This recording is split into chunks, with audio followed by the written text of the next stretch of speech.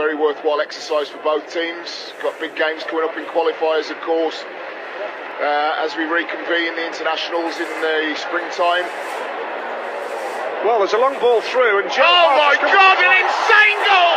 I've just seen the most insane goal I have ever seen on a football pitch. It- into the back of the net, and it's Sweden four, England two. oh my days, Zlatan Ibrahimovic! I want to go and give you a man hug. That is the beautiful game played in a beautiful way. Oh my days, what a finish! I've just seen it again.